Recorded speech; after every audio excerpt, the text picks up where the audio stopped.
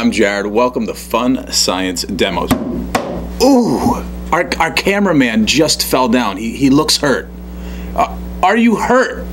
Uh, he can't talk. Oh, if you're hurt, knock once. Okay, he's hurt. Do you want us to get help? If you want us to get help, knock twice. He wants us to get help. Okay, after the video, we're gonna get help. Fun Science Demos, can you guess the big idea? The big idea is that I could communicate with him through a pattern of knocks. Human beings have invented different ways to communicate using patterns. All of these things communicate using patterns. So let's start right in front of me. Let's zoom in and take a look at these patterns. Take a look at all of these different patterns. Well, this pattern of communication was invented by a man named Morse, and they call this Morse code. Every letter in our alphabet and number has its own pattern. A is represented with a dot and a dash. Compare that pattern to B. B has a dash, dot, dot, dot. In the old days, if a ship was in trouble, they would use this pattern of communication to call for help. They would call out SOS, save our ship. Now, before we had telephones, communicating with the patterns of Morse code really did come in handy. We could communicate over long distances with patterns of dots and dashes. How did we do that? We used the telegraph ticker to communicate those dots and dashes over thousands of miles. And somebody on the other end received those dots and dashes, and then they could figure out the letters that went with those dots and dashes. Patterns communicate. There are other ways we communicate with patterns. Take a look at these. We're going to zoom in and take a closer look, and we want you to look very carefully to see if you can find another type of pattern that communicates. It's really easy to see these numbers. But do you see a different form of communication using patterns right underneath those numbers? I see these dots. The big question is what are these dots? These raised dots that I can feel, they have different patterns. They're called braille. And every number and every letter in our alphabet has a different pattern of raised dots that we can use to communicate. Besides Morse code and Braille, there are other patterns that we use to communicate. Let's take a closer look at these. We're going to zoom in so you can take a closer look, but we want you to look at each of these items and see if you can find some patterns.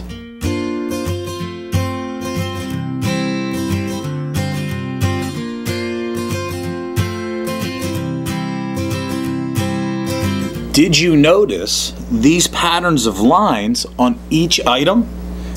There they go. There the lines are. There's lines there, there, there. There's lines here. These patterns of lines are called barcodes. And barcodes use lines and spaces to communicate information. These patterns of lines and spaces communicate numbers and letters just like Morse code and Braille. Any item that we can buy in a store has a barcode. Prescriptions for medicine, it's, it has a barcode. Coupons have a barcode. Even mail and envelopes have barcodes. And if you think about it, people can also have barcodes. This was put on my daughter when she was born in the hospital. Notice, do you see the barcode?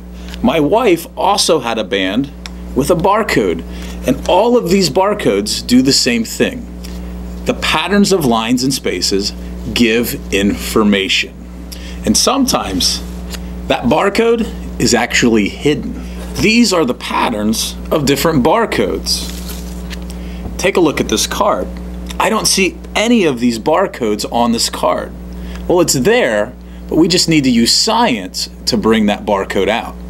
Plastic cards like gift cards or credit cards or ID badges or even driver's licenses have these little black scan strips.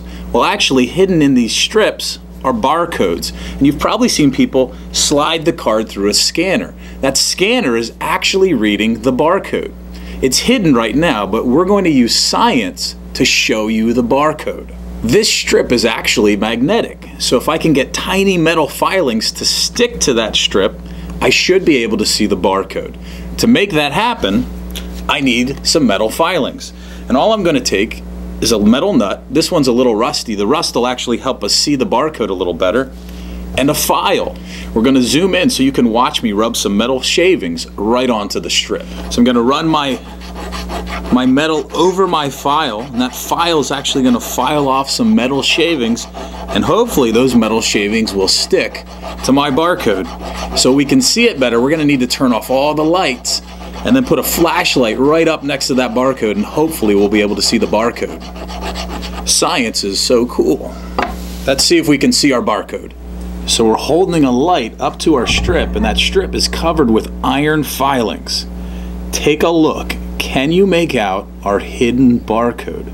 If you look carefully, you should be able to see a pattern of lines that go up and down all the way across our strip.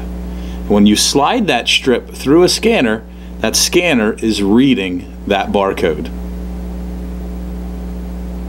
So from barcodes to Morse code to Braille to even knocking, patterns communicate. wait a second, music is actually another pattern that communicates. Think about it. Patterns that communicate are all around us. Can you think of any others? Science is so cool. Thanks for watching. P.S. No cameraman were actually injured in the filming of this video.